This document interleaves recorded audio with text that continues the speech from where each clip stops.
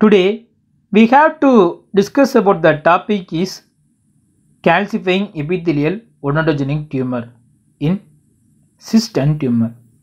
It is also called as Pindborg tumor. The calcifying epithelial odontogenic tumor it is actually benign and odontogenic neoplasm which means it is a epithelial in origin. Previously we they say it is arised from the reduced enamel epithelium but actually it is arised from the stratum intermedium and dental lamina. It is characterized by presence of amyloid materials that became calcified. Which means there is a polygonal epithelial cells are arranged in cord or sheet in appearance having amyloidosis occur and later calcified.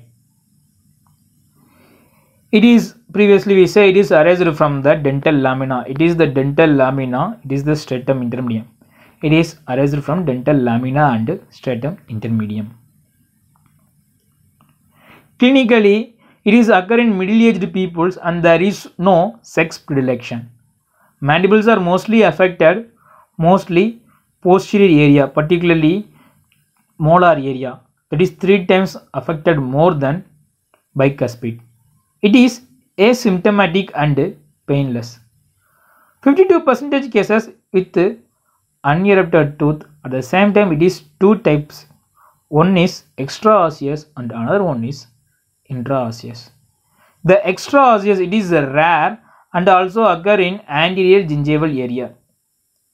The intraosseous is common. In radiographically, there is a well circumscribed unilocular radiolucency. In unilocular pattern, we have to see some kind of radio opaque and radiolucency in mixed pattern. At the same time, it is the border is scalloped and diffused border which means here is the diffused border here is the scalloped border. Well defined scalloped border. Previously we say it is a mixed uh, in unilocular pattern. If it present unilocular pattern having mixed appearance. That is radiolucency and radio opaque mixed in appearance which look like there is a presence of multilocular radiolucency in the unilocular pattern. So it looked like honeycomb appearance. And a the lesion may entirely radiolucence with scattered fleck of calcification in some cases. It's look like driven snow appearance. This driven snow appearance is particularly present in the coronal area.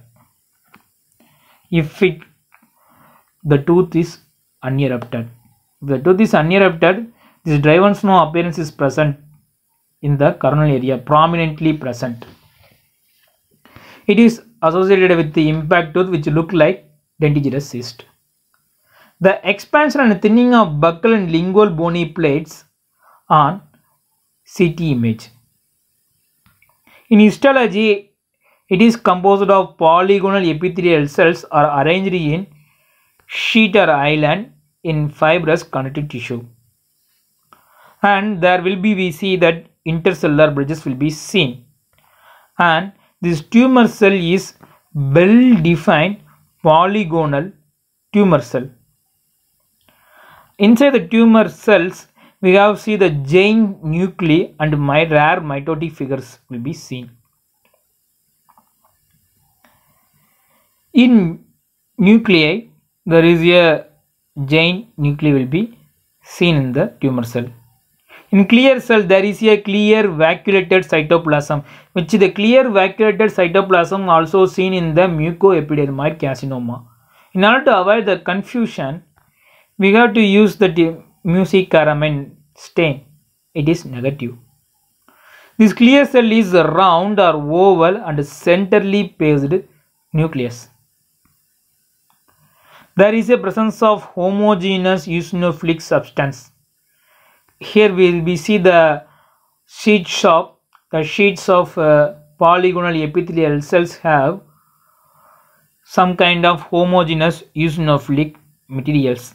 These homogeneous eosinophilic materials is we can stain by using crystal violet, Congo red, thioflavine. These stains are used for the amyloid, amyloid stain. So here we use this stain, the amyloid is positive. Later the amyloid materials get calcified and appearance like Liesegang ring appearance. The treatment is small intrabony is surgical enucleation or curettage is much enough. If it large or recurrence happen in this tumor, the segmental resection must be done. Thank you.